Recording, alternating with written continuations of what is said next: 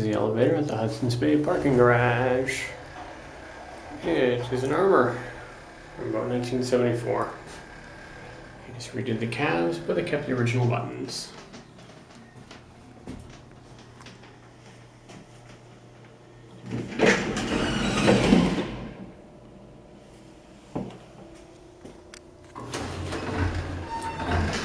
No idea if the door close button works because there isn't one.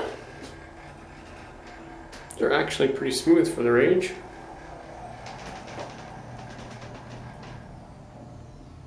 And that's it.